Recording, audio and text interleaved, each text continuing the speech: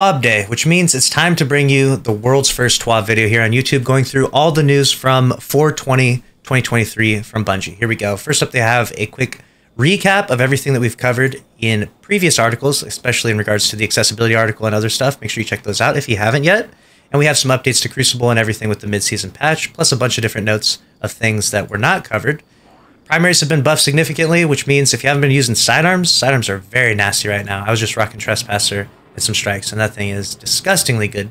Here's a, a list of the accessibility changes that were made. We have reticle changes, full auto melee, toggle setting additions, subtitle subtitle color choice, a peek at what's new with commendations if you have any variation of color blindness.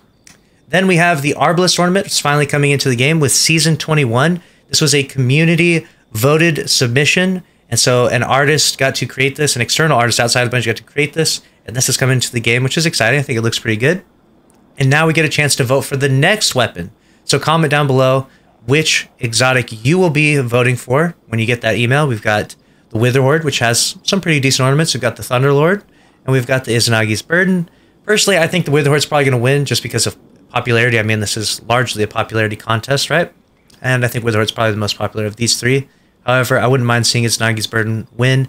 Thunderlord, though, Maybe it could use the ornament more than the other two, but we don't really use it as much. So I don't think Thunderlord will win, but only time will tell. Make sure you vote with the email when you get it. Then next up, we have, uh, here's a quick look at the full process. Starting April 20th, you'll get the community votes. Yep, and just like that, you'll get to pick your favorite concept.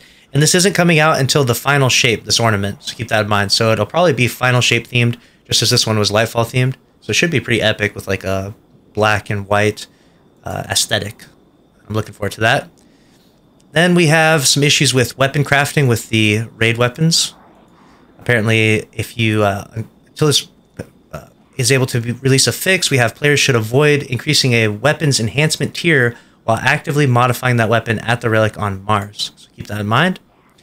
Uh, 3D audio is bugged in the game, and then we have a list of resolved issues, which one of them is a sad one. They fixed the issue where the terminal overload chest could be looted multiple times, which was very sad. You could get on your Sparrow and go and reload the checkpoint and progress your crafted weapons. So they removed that, taking all the fun out of Neomuna, unfortunately.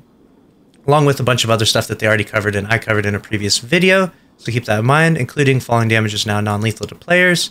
Then we have a list of known issues. One of them being volatile flow does not activate consistently. So keep that in mind. I've been seeing a bunch of people mention that, which is pretty crazy. We also have some players report that Radiant no longer stuns barrier champions. Fire sprites may lo no longer be generated from grenade kills. Definitely some issues out there going on inside Destiny 2. And that's wrap on this TWAB video. Pretty short one for this week. Make sure to subscribe if you want to stay up to date on all the news in Destiny 2. Smash the like button. See you in the next one. Later.